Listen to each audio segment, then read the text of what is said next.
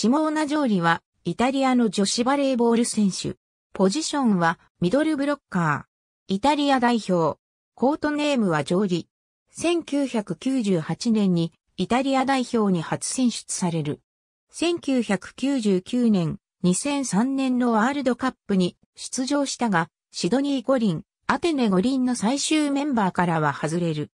結婚、出産後の2007年、3年ぶりに代表へ復帰し、同年の欧州選手権で初優勝すると、ワールドカップでは、攻守ともに安定して、ベテランプレイヤーとしての実力を見せつけた。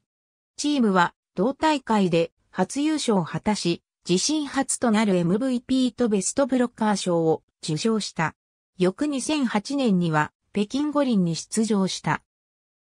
2009年の欧州選手権では2連覇とともにベストブロッカー賞を受賞。続くクラチャンでは初優勝を飾り MVP とベストスパイカー賞を受賞した。2011年には一時オポジットにコンバートされるが、同年のワールドカップではセンターに戻り、2大会連続優勝を果たした。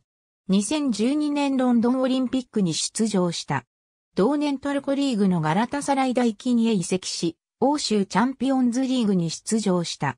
代表でコンビを組むロビアンコ、日本代表の佐野優子などとチームメイトであった。ありがとうございます。